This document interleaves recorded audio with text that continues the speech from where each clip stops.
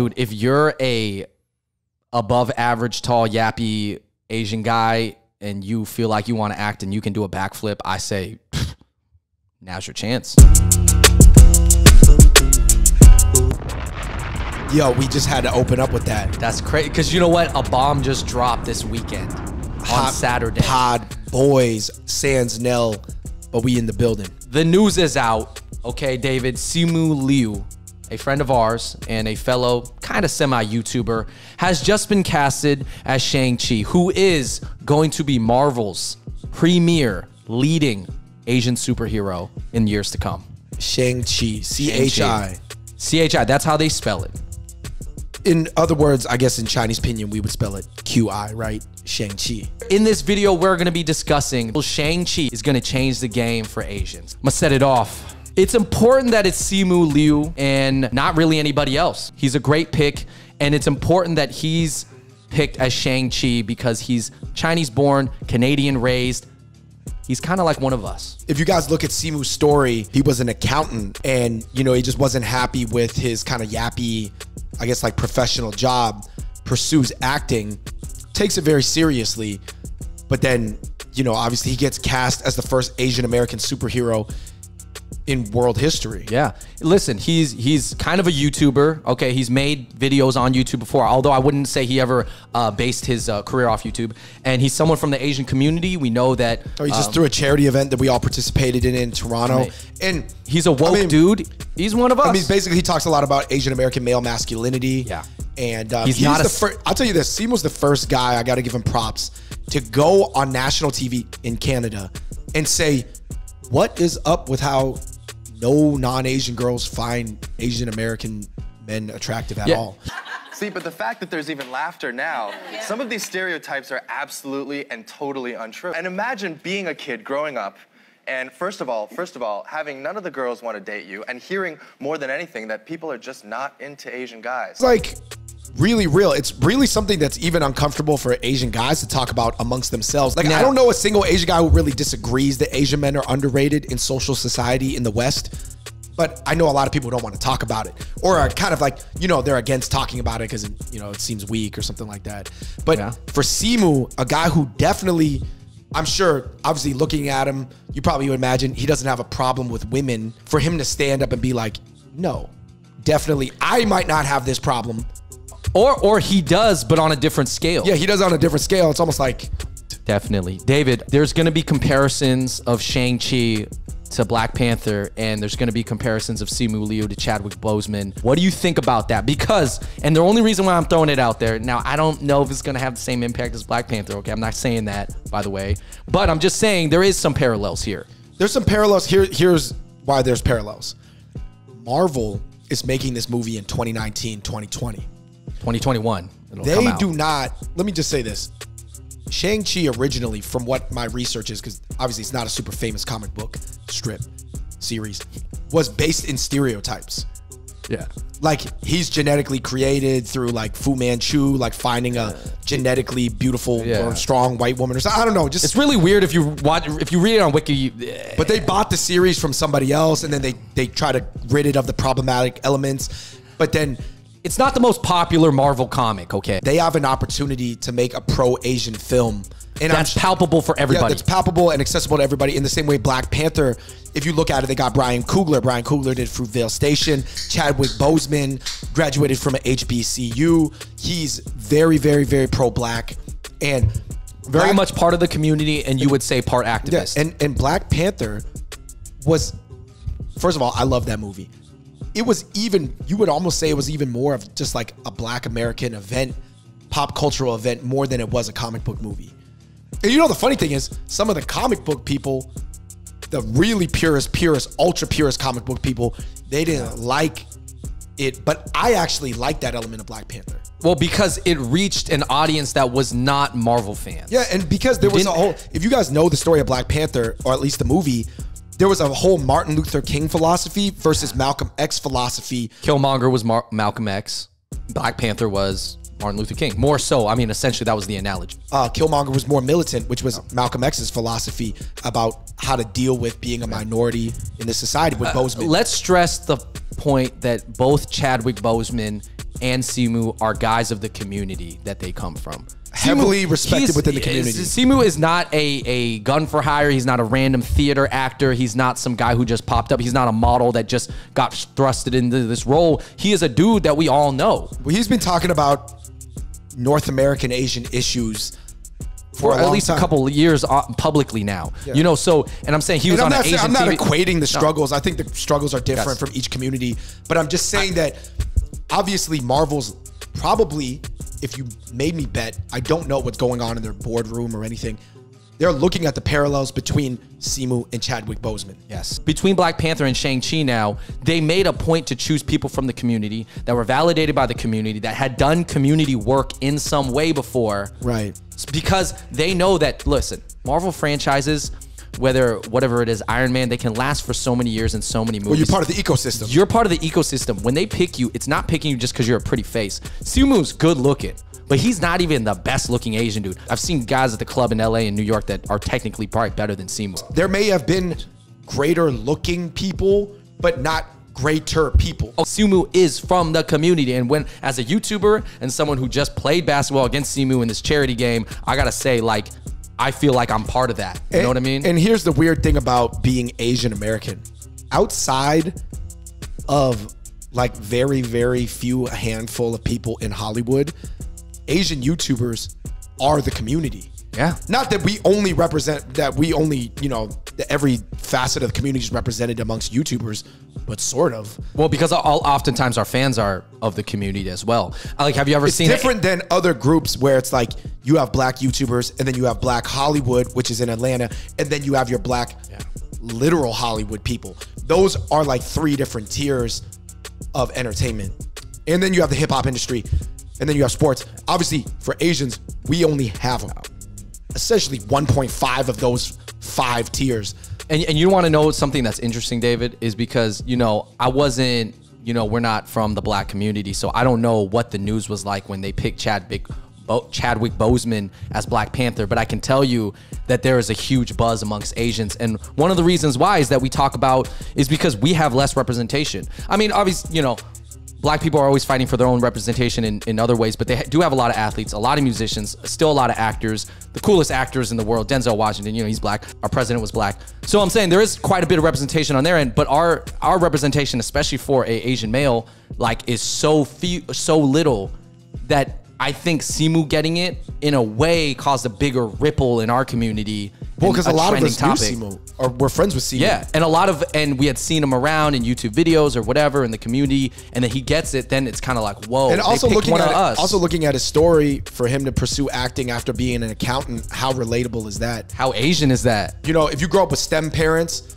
you know what I mean. Like, you just No, your if- life is very like sort of set in a certain way. Honestly, I never thought that anybody from our ecosystem. Well, Awkwafina's gonna have a role in it as well, but like, I never guessed that anybody from that we made videos with or knew people that they made videos with. It never occurred to me that it could be possible to maybe reach that echelon of getting in the Marvel universe.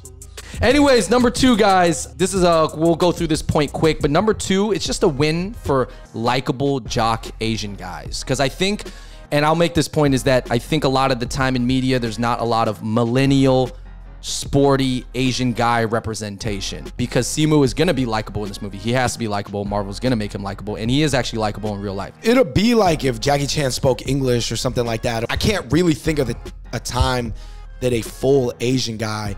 I mean, dude, Asian guys were so starved. We were trying to claim Keanu Reeves, Yeah. All right, who's here's like was like a fourth. another comparison to something that was very important to us was, you know, Jeremy Lin making it to the NBA first. And then obviously he struggled, but then he blew up with Linsanity. I'm not saying this is a Linsanity moment. This isn't that yet because the movie's not out and hasn't done well. for jocular Asian guys. It feels almost like something like Linsanity. It, you know, it's the other moment. It's like seeing this is like when we heard that Jeremy was got a spot on a team. That's when we were like, oh, he's in the league. He's there. Now, if the movie does well, and I'm sure it's gonna do fine, that's gonna I think that's the insanity right there. And this is these are the moments. I think for me, another point was like Jabbawockeez. When Jabbawockeez won, But the thing was, they wore masks. I mean, I think there's different moments here No, and there. uh, Uh, uh, Far East Movement having two number one singles. I would say I would put this almost uh, no offense to the dancers, but maybe as like the whole Asian thing with ABDC. Like that was cool. That was a moment where we all followed it, just like we're all gonna follow this moment. Point number three: a bunch of people will have to say the phrase "Simu Liu is Shang Chi," and a lot of people are gonna get the pronunciation wrong, and it's gonna be funny. Well, it's gonna be funny to see people. I could see some of the entertainment reporters being like, huh, "What's going on here? Am I just like speaking Chinese?" Let me tell you, those are four Simu Liu and Shang Chi are already four Chinese words that uh, I'm sure. Well, you already heard it at the presser. People were. Dude, dude, the the lady already messed up Shang Chi. How Simu? How? What was it like when you got picked to be Shang Chi? No, no. Look at and then- Shang-Chi. And then she's probably like, "Who's playing Mulan? Oh my Oh god!" God! Don't say that. No, Oh. hey, imagine people trying to do the Mulan presser. First of all, they already sweating bullets looking at their sheet of who is who. They're like, "Oh my god, can I color code these people?" Like they're like nervously looking up and down, up and down. They're like, I just got Awkwafina right, okay, and I'm I'm still working on the others. You know, he walked out to the Comic Con stage speaking Mandarin. Obviously, it was flowing because he's a native. He moved. He was born in China, raised there until five. He said, 我在哈尔滨出生了. Yeah. He, he, I felt like he didn't really have the northern accent much. He, he left. He, he tried to keep it more standard, but he did. I mean, he's good at Chinese. He's good. I mean, he's born there.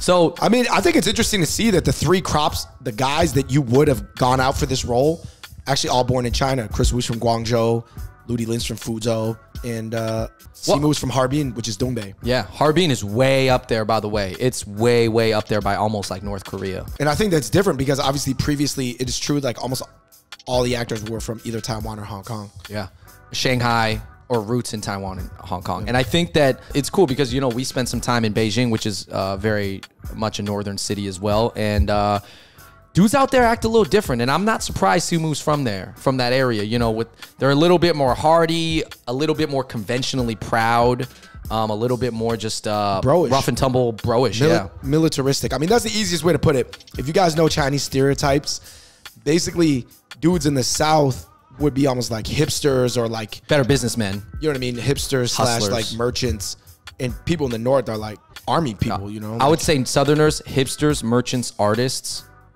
and then Northern guys. They're you know they're the ones eating mad thick cut noodles uh, in the cold. Army, the politicians. Yeah. A lot of hot pot up there. All right, guys. Number four is that Shang-Chi is actually written to be half white and half Chinese, but Simu is full Chinese. So, So you're saying a full guy actually took a hapa role? Exactly. This is funny because usually it's the other way around. Usually they have, and and many Bruce Lee uh, characters are played by ha- half white people, even though Bruce Lee is a fourth. Also Henry Golding, who was half, and shout out to Henry. He's a really nice, great guy. He played Nick Young, who I is supposed to be full. But so now it's a full guy taking a half role. So what does it mean? I think it just means that people. I don't know. I mean, I think they figured that's what he was the best fit, and that's what people want to see. And especially if you're thinking about the Chinese market, I think it helps to have a full guy, and especially Yeah. a guy from Harbin. I think it just uh it just makes more sense. I mean, why? First of all, I don't think you're gonna find that many hapas that can do all those flips like and know kung fu like that. You know what I mean? Like, there's not. I don't like. There's a lot of physicality required for this role. You know, so like. From what I know, Simu is really acrobatic. He's really athletic. I've seen him do backflips. I'm sure he will get the martial arts movements down quite authentically.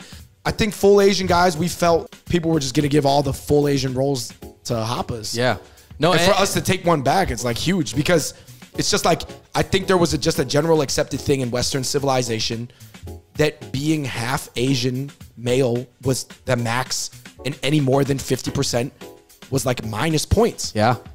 Like Yeah. the more genetically full Asian we were, the wackier it was. Yeah. It felt like, and there's no problem. Obviously, I have no bone to pick with like the mixed kids, but it just felt like that they were going to get all the opportunities. They felt, I felt like they were going to get all the looks, and that they because were they were more acceptable to multiple demographics. No, because they had more appeal. I'm not saying that's still not partially true. I mean, I mean, I think Hapa still Well, have a lot of well, appeal. I mean, Western people don't want a little bit of their look right in someone's face. right but I. I just saying like we we took a big role and i like it is it funny funny fact that a lot of the actors nowadays a lot of the actors that we name that are pretty big especially from asia are actually from canada or australia simu kris wu ludi lin godfrey gao edison chen nick tsai Eddie Peng, all from Canada originally, whether or not they're in Canada now. And then Ronny Chieng, our friend, is from Australia. Ronny's kind of getting on too. You know, I think a lot of dudes. And even Henry Golding is from Malaysia and Yeah, Britain. I think that um, So what does it mean that David? I, I'm not saying I don't want to dive too deep into this, but it seems like a lot of the Asian dude and particularly Chinese guy actors are coming from Canada. long story short, I think that there's just more of an identity. You know, a lot of Asian American guys I know don't even feel comfortable being filmed on camera. That's how marginalized I think subconsciously they feel. And I don't think in Australia and Canada they feel that way about their imagery. Yeah. Like I think they get a lot more fob media over there. I think I mean when I say fob media, I'm sorry, just motherland media, where it's like you know what I mean. And I just think they're more recent populations, like in terms of immigration wave, and their self identity when they look in the mirror is completely different. And especially when you migrate from Asia to one of those countries at a young age, you're just able to develop completely different than somebody who's born and raised in the U.S. I think we're just raised to play ourselves small, to be honest. And Yeah. you know, I'm not blaming anybody. This is just the way it worked out in the U.S. But for sure, let's just say this: you move from at five or ten from Asia to Canada or Australia, your sense of self identity is completely different than Asian Americans. Fair. Also, maybe Asian guys pick up a bunch of other ways to make money in America because America's such capitalistic.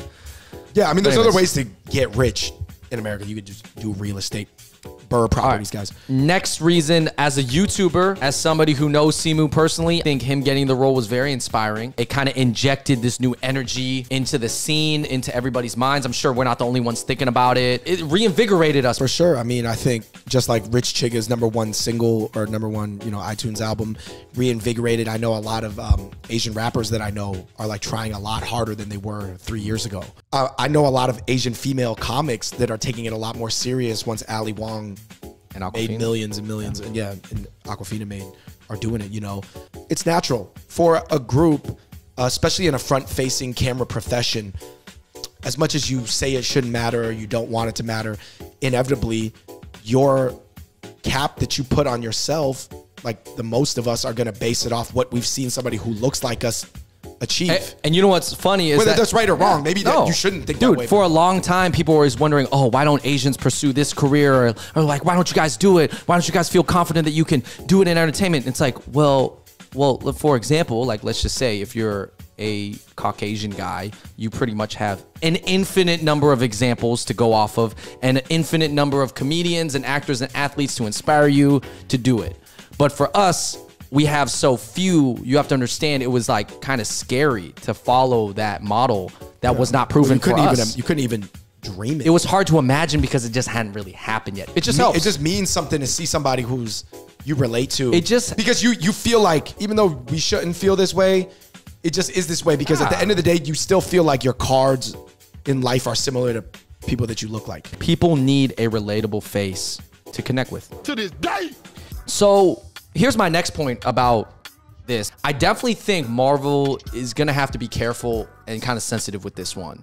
Because there's some kind of weird and outdated and slightly offensive themes in the original Shang-Chi that I think they they're gonna tweak a little bit. Oh, absolutely. I'm Such sure as the Fu Manchu thing, who's who's honestly an offensive character in, in Asian American he's culture. supposed to be his dad, right? Yeah, he's he's Shang Chi's dad, and Fu Manchu is just like this character we laugh at. Yeah, bad. yeah, and I'm sure that um, that was based off a certain era in Western history where, and I'm not gonna lie, some people still kind of perceive Asians to be like that, to be honest. But like, not the people at Marvel. I'm sure there's a lot of diversity in their ranks. they're now. thinking Obviously- very hard about this. Yeah, and I'm sure they don't want to get it wrong because obviously, and it's not just economically. I'm sure they're thinking about what the moral thing to do is.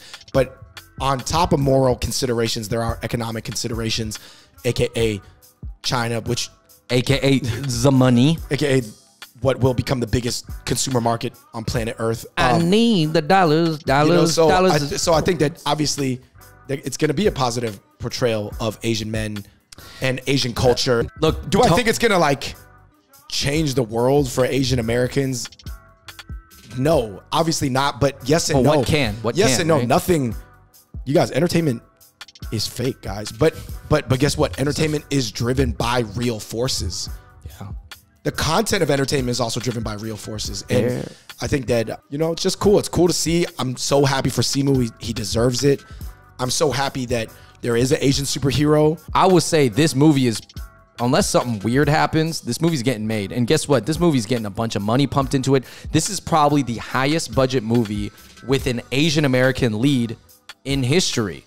Because it's probably going to be at least 120 to 180 million dollar budget, which is a lot of money to put behind an Asian American or Asian North American, whatever you want to call them. Kung Uh, Fu Panda, Big Hero 6, it doesn't count. don't count. Don't count. My last couple points is Marvel has a chance to rewrite the backstory and to make it new. I think that if the writers are smart, they'll do something with the Mandarin. They'll show respects to obviously Tony Leung, who's an amazing actor from Hong Kong. They they really have a chance to put in a lot of a racist backstory. You know, something that it really explains something, kind of like a Black Panther, something that cuts deep into kind of the conversation of today, something that's very up to date. Dude, And I think Black Panther will. was like a societal com- Dude. commentary. that was that was huge. So I think that's what I'm hoping that uh, Marvel does.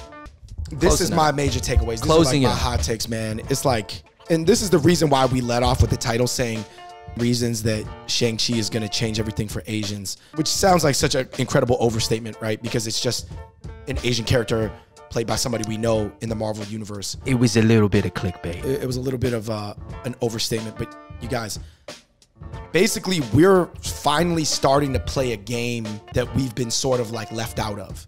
Yeah. And when I say left out of, I could say kept out of, left behind, we shunned it.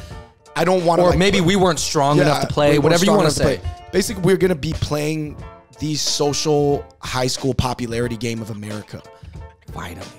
Yeah, um, Asian men are, and even Asian women. If you really look at it, Mulan doesn't count because that's like takes place in China. I'm assuming some of this Shang Chi is going to take place. Not all of it's taking place in China. Some of it's Asian women on- are kind of in the game. yeah, Asian women are kind of in the game. Better- and also, to be honest, I don't know why it is, and you could make ten podcasts about this. Asian women are almost not. They're viewed as something else. They don't necessarily. They're not viewed as like Asian only. No, no. Asian guys, a- and I We're guess like we're like representing everything on our shoulders. all right, like- trying to uh, trying to simplify this without uh, falling deep into this rabbit hole is like Asian guys are like Asian Asian, and then Asian women are like woman Asian, in my opinion. They're like and and I'm not saying this like actually in society. Like, what's the reality? I'm just talking about media perception. media. Like, Listen, media wise, it's, they were getting on before us. That's Because, fine. because listen, some of you guys out there are going to be watching this being like, you guys are so stupid thinking that a movie's going to do anything for me in my life. And you guys are actually right for saying that, but you have to understand that they, we exist as like blips in a much larger speckled like timeline of data points. Right. So just because you're saying that and you might be right about your life, we're talking about media shifting the entire tide that all the boats are on. I'm not talking about how you run the cruise ship of your life, like who's on deck, you know, who's the captain. You're in charge of that, of your own, you know, essentially vessel. But I'm talking about a tide that affects the vessels yeah. almost, and it's outside of the vessel's control. We're talking about big picture cultural, social movements here. Trust me, guys. Depending on how close the water is to the top, one or two drops can make a huge difference. That's the point. That's the tipping point at that point. We're talking about breaking the surface tension. Breaking the surface tension, that's the tipping point. It's just like it's like you know when you're playing that Korean drinking game where you don't want the the shot glass of beer to fall into the soju. Yeah, it's there's someone has to put the last drop of soju in it. And I, I definitely think I view this as a potential tipping point. I don't know. You know what I mean? Because it's tough for me to judge. I'm not. Guys, look, you guys got to talk to Jeff Yang. I'm not that much of a Jeff big Yang picture the- cultural the- critic, you know? Jeff Yang is the guru. But uh, I think obviously he just got announced that it's him. The movie's not even out yet until 2021. It's gonna take like a year and a half to make, film, market, whatever, blah blah blah. But we just know it's a symbol of change, and this is why it's inspiring to us. It's why it's why it's, it should be inspiring to other people, and that's why Jeremy Lin was inspiring because it was just a moment of change. We can do it. You know, honestly, right We- now, between obviously Simu getting cast, Awkwafina's killing it, our friend Ronny Ronny- Chieng just opened up for Dave Chappelle in New York, and I just feel it's like it's seven years ago. Uh, if you guys know, seven years ago, there was just this energy in YouTube that was like anything's possible if we just keep at it, we keep creating, we keep attacking. we keep just like doing our thing. Anything's possible. And I think that feeling went away for the past three or four years. I don't know why. It just feels like it just left the game. Yeah. And if this feels like a breath of fresh air back into it. By the way, I know that not everybody's Chinese. I get it. They're basing it off Chinese characters. Crazy Rich Asians was about Chinese. That's fair. I get Yeah. it. I get you it. have to acknowledge that. I have to acknowledge that. I get it. I do think it affects all Asians because everybody thinks all Asians are Chinese. Yes. But I understand internally within the Asian world why there's like, oh, why does it always got to be this or why does it always got to be that way? Listen, that's why me and Andrew do make an effort to be really, you know, pan Asian with it and stuff like that, Yeah, and inclusive. inclusive of, of everybody. Um, Yeah. Well, But I get it. I get it. I think that that's a discussion for another time. Listen, if believe somebody, me, I get it. not everybody got a fair chance at becoming Shang-Chi. You probably had to be Chinese. And that's a fact. I And- knew people trying to Yeah. take 23 and me, trying to point at like 13% on the DNA test. They're like, can I go out for it? Some people were saying they're half Chinese. Who knows? But I'm just saying, like, that's true. It's a fact. And it's not to explain the situation, but it is true that the Chinese market is so huge that they're going to demand a Chinese person. And just as, like, at a point in time for most of K pop, they wanted Korean people. So I'm like, it just, it makes sense. But I just, it's a whole different discussion. It's not to leave anybody out, but that th- when it comes to entertainment, there's like, they have to think about so many things. I'll tell you guys this. Let's close it. I out. think that, for, especially for Asian guys, the majority of stereotypes they're suffering from are sort of like Chinese stereotypes.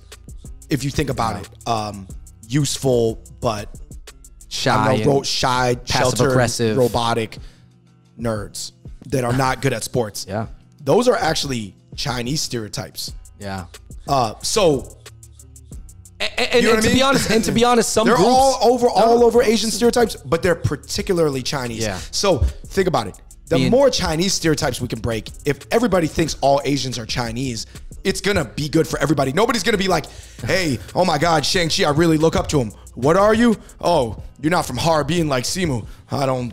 That doesn't count. Nobody's gonna think that. Okay. I think that you know, it's funny that this is like another podcast topic, but as Chinese have the biggest number of Asian people, they were the Number some of the biggest number of people on earth. biggest period. number of people. They were the first ones in America that were Asian Asian. You know, very super Asian, and it's like they may have uh, been responsible for a number of the Asian stereotypes.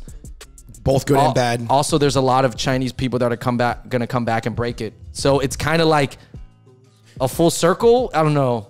I guess the people who made it got to be the people who break it.